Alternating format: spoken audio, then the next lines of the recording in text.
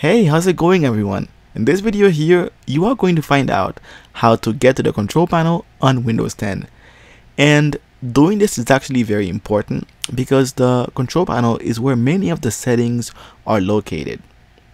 Now, there are two main ways to get to the control panel on Windows 10.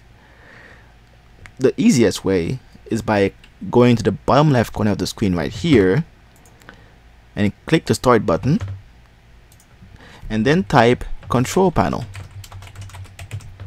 And then click right here click control panel right here. So click start and then type control panel and then click on it okay? So now by default the control panel is in this view okay?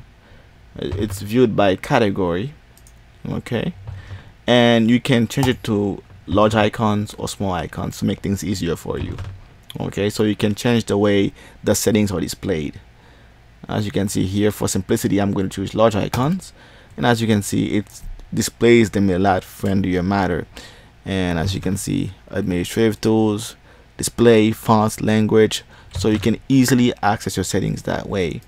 Now another way you can op open control panel is by right clicking right click in the bottom left corner of the screen. So now you can you're going to right click the start button. And then you are going to click on control panel. So click on control panel right here. So right click the start button then click control panel. And here it is. This tool takes you to the control panel.